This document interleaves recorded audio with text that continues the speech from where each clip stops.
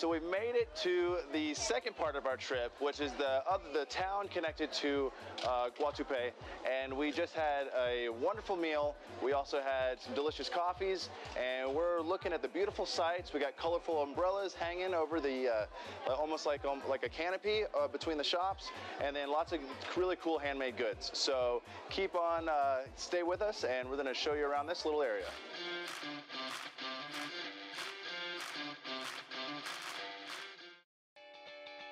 Your spirit rise.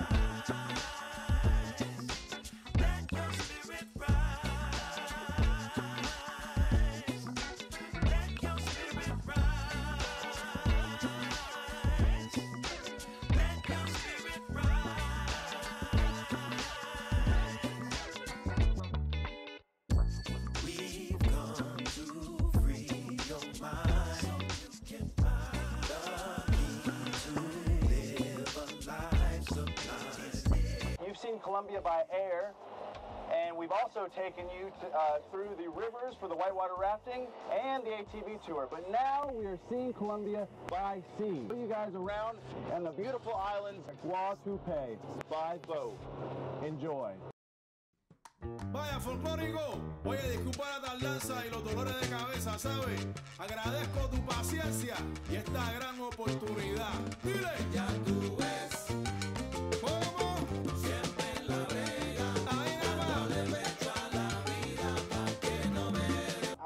me All right, so everybody, this black house here was Pablo Escobar's home, overlooking the water. We jump in a random boat and we end up at Pablo Escobar's home. Look at this bad boy. Beautiful black paint on the outside. Windows everywhere.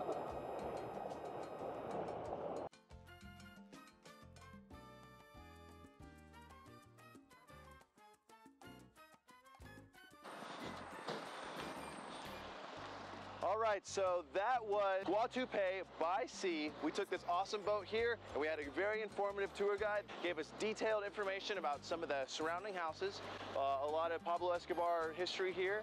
Um, so I hope you guys enjoyed the video. I hope you guys are loving this new channel and uh, I hope you guys are having a great day and I'll see you guys on the next episode here with Foxen Adventures.